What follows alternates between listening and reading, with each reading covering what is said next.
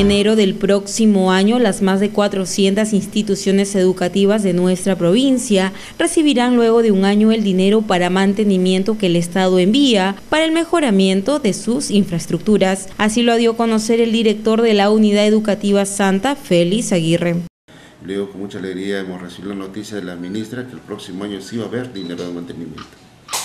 A ver, coméntenos sobre este anuncio.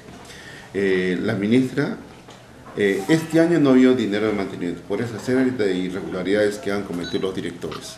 Pero para el próximo año, ¿no? ya la ministra ha anunciado que de nuevo se va a restablecer este dinero de mantenimiento.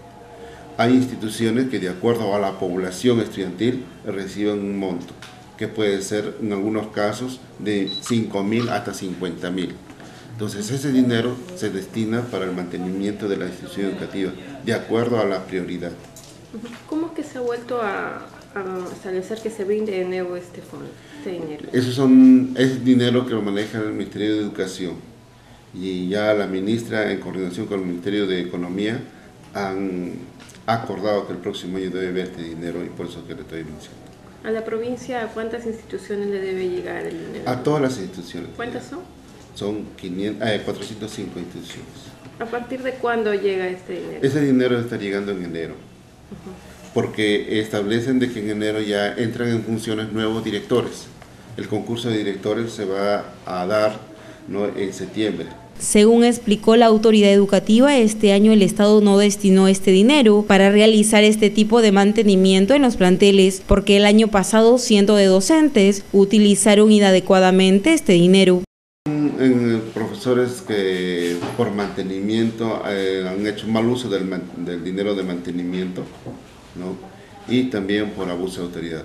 En estos momentos se incluso se está yendo a Moro, el jefe de OSI, para ver también un problema de notificación de que ha sido sancionado un director por mantenimiento.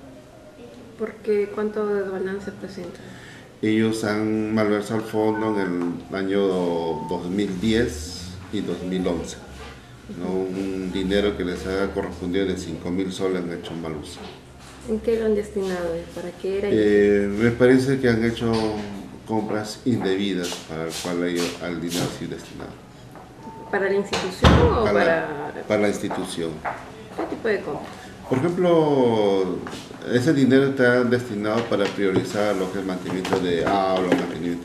Ellos lo dan otro uso, entonces eso ya viene a ser malversación. Por otro lado, Félix Aguirre informó que el próximo año el gobierno regional de Ancash construirá 15 instituciones educativas del nivel primario que se encuentran en pésimas condiciones. Bien, eh, el gobierno regional está presupuestando ¿no? para el próximo año la construcción de las instituciones educativas de inicial en lo que es la región, de los lugares en las iniciales donde verdaderamente lo necesitan. ¿Cómo va a ser la selección de estos?